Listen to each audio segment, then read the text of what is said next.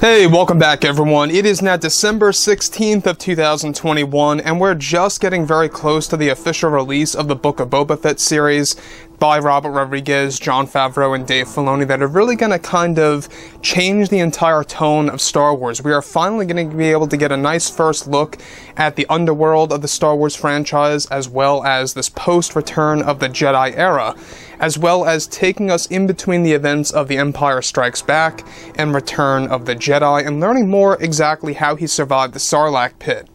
This is Mike Zeroh. Make sure to subscribe if you're new to the channel for future Star Wars updates.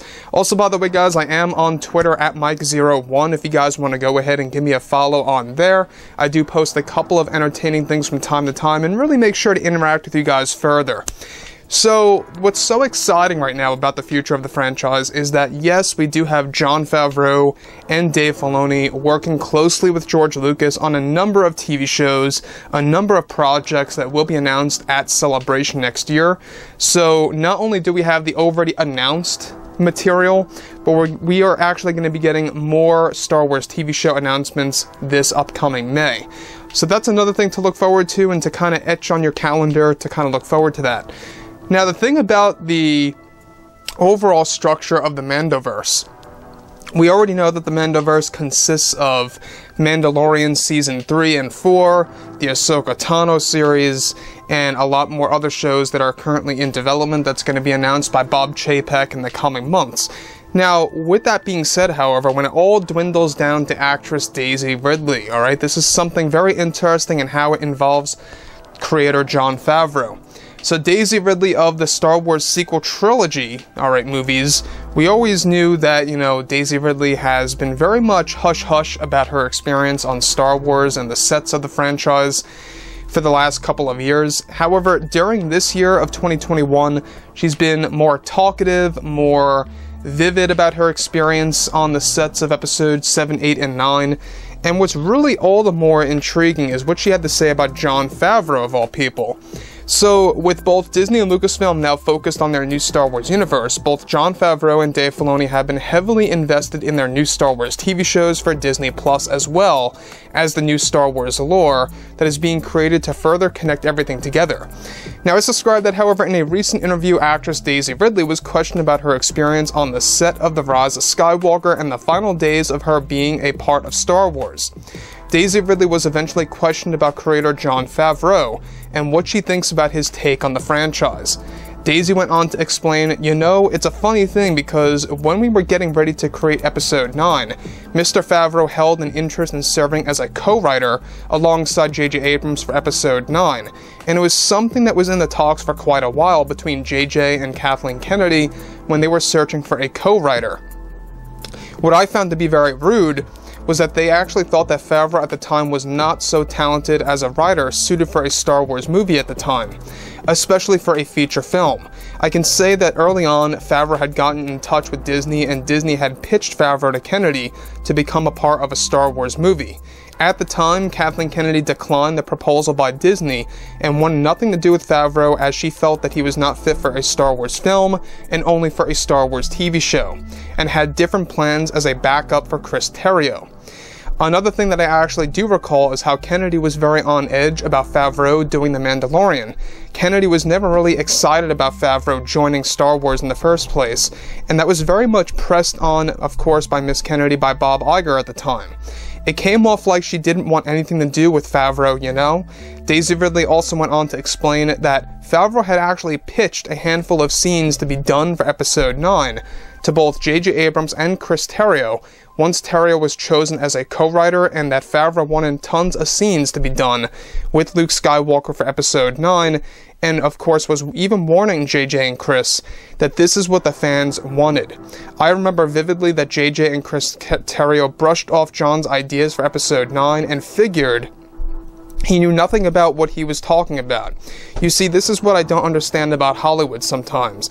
It's like it's one big competition, you know? The egos are too strong for some people and they don't want anyone's help that's out of their range of work. Disney believed, of course, Disney, believe it or not, wanted Favreau to work on episode 9, but Kennedy made sure that Chris Terrio would actually handle the co-writing business. And hey, I mean, Chris Terrio turned out okay.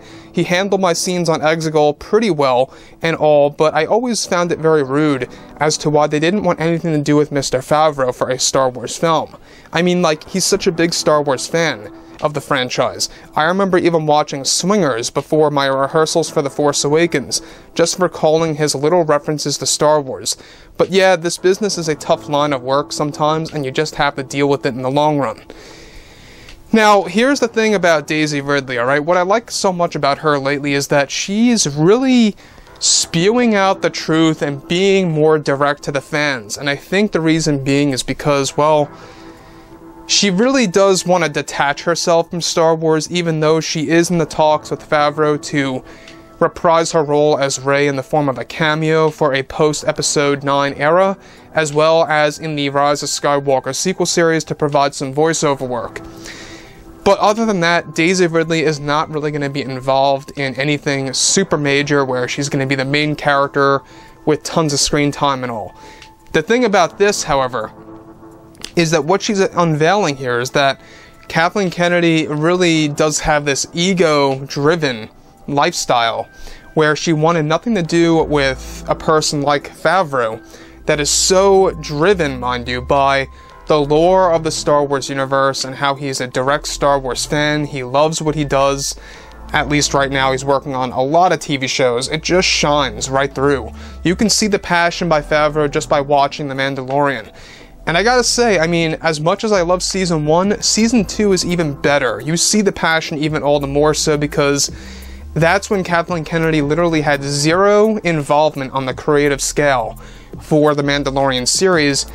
Meanwhile, with season one, she is the one that denied or refused, I should say, for any of the major cameos to become a part of season one. You know, in case you guys didn't know this, originally Favreau wanted Luke, Ahsoka, and others like Boba Fett to become a part of season 1 of Mando, or at the very minimum, references, and we got nothing of that.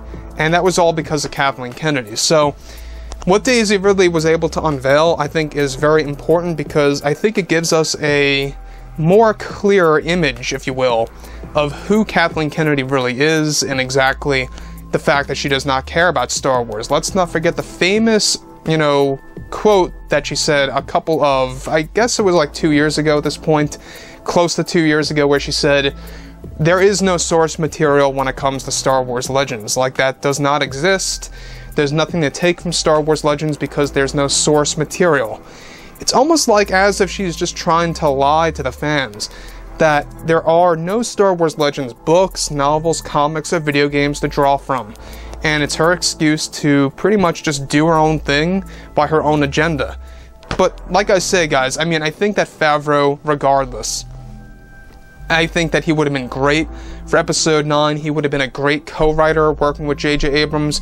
He could have even leveled out some of J.J. Abrams' flaws because I do believe J.J. has a lot of flaws in episode 9 for the scenes that he wrote. I don't know if you guys ever paid attention to who wrote what for episode 9, but a lot of those Exegol scenes were done by Chris Terrio, and J.J. Abrams did a lot of the work for some of the other scenes, such as the Battle of Exegol over the surface.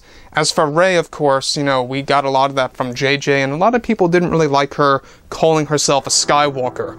That was all JJ's idea, by, of course, Kathleen Kennedy as well. So, anyways, guys, you know, drop a comment below. Let me know about all this in the comments, and if you guys did enjoy the content for today, do make sure to drop a thumbs up on this video to support the channel. I thank you all so very much for the kind support, and I'll catch you guys next time.